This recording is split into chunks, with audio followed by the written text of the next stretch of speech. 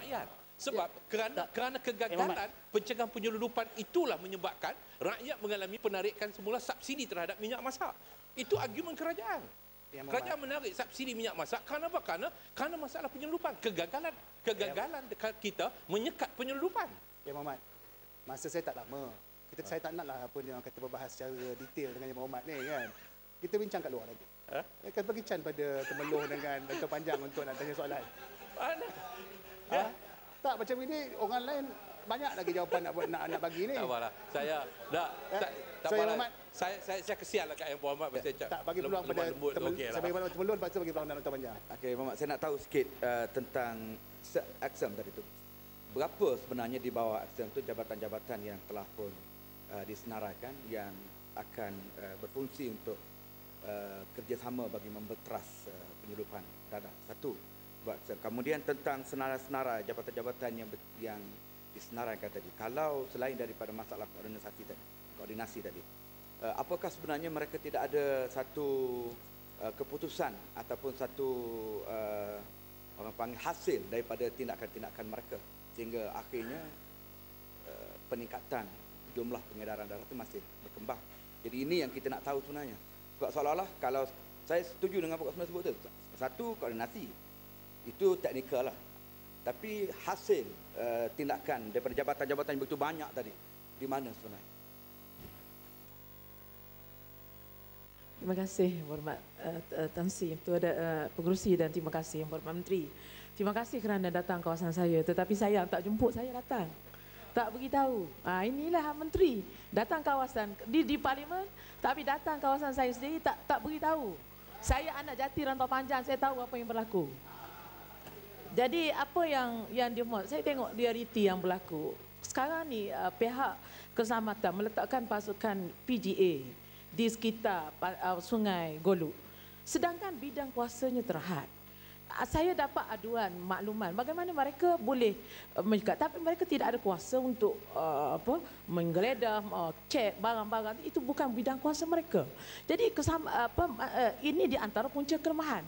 Begitu juga apabila penguatkuasaan sempadan immigration lepas pada 10 malam sepatutnya tak boleh keluar. Memang pintu gate dikunci. Tetapi di seber, seber, uh, di sepanjang sungai sepanjang waktu rakyat boleh menyeberang. Pukul 10 malam ramai remaja-remaja yang keluar uh, ta, uh, apa dengan apa uh, ke seberang uh, untuk mungkin kerana ada program hiburan dan sebagainya ke negara jiran. Jadi apabila ini menyebabkan isu sosial, saya dimaklumkan oleh pihak imigresen ada yang balik pukul 3 pagi muntah depan apa tempat imigresen. Ha? Macam mana ini berlaku apabila saya telah buat aduan beberapa kali, beritahu dalam dewan ini beberapa kali. Tetapi tindakan tidak dibuat. Jadi macam mana ini uh, berlaku? Begitu juga saya pernah jumpa Serum Padang. Cek macam mana penyelundupan minyak berlaku. Apabila saya pergi ke Thailand, Sungai Golu, saya pun ramai keluarga di Sungai Golu. Apabila kita pergi ke sana, ramai jual macam goreng pisang, jual minyak, subsidi Malaysia. Macam mana begitu? Apabila saya cuba cek, tanya orang yang memang duduk hari-hari bawa penyeludupan. Dia kata dia bayar bulan pada pihak penguasa. Ini realiti, saya bercakap ini realiti. Dia bayar bulan. Begitu juga dadah. Dan isu dadah tak selesai, isu penyeludupan senjata tak selesai. Apabila kita tanya, macam mana tangkap-tangkap lepas, tangkap lepas. Bayar bulan, dia kata. Ini realiti. Jadi ini penyelesaian ini tak akan selesai selagi tidak ada integriti. Jadi apa pandanganmu? Terima kasih YB Dr. Panjang. Saya mohon maaf lah tak tak maklum dulu sebelum datang masuk kawasan. Tak Assalamualaikum dulu. Ya. Yeah. Ha.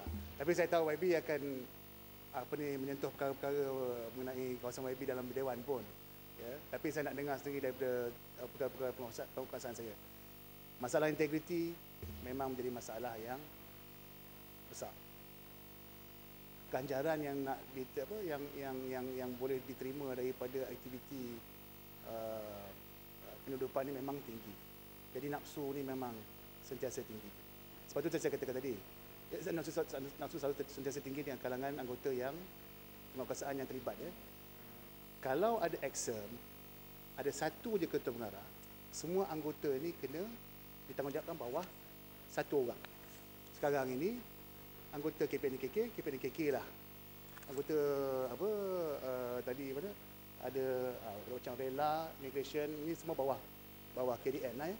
Uh, tapi maknanya jangan lupa di sepanjang sungai Golok tu pun ya, saya lihat sendiri ada banyak port-port yang tidak dibenarkan, haram lah kiranya untuk melintas. Sungai itu pun bukan panjang sangat pun. Ya. Dan kawasan tersebut tidak dijaga oleh PGA. Tak semua tempat dijaga oleh PGA. Dia juga dijaga oleh uh, Angkatan Tentera. Jadi harapannya selepas ini, kalau AXEM ini dapat dikembangkan, maka angkatan apa anggota angkatan tentera yang terlibat di kawasan-kawasan yang yang sepanjang sungai Golok tu yang yang yang yang bukan dijaga oleh AXEM ni akan dilibatkan sekali di bawah satu komand.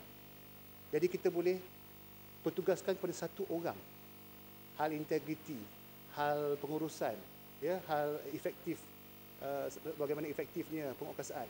Satu orang akan jawab, bukan banyak orang yang jawab macam sekarang ni. Sebab tu tindakan pun susah nak diambil. Tapi saya ambil kira lah, saya ucapkan terima kasih kepada YB ya kerana uh, apa ni ada satu persefahaman lah ya kita nak selesaikan masalah ni secara bersama. Ya. Boleh jawapan?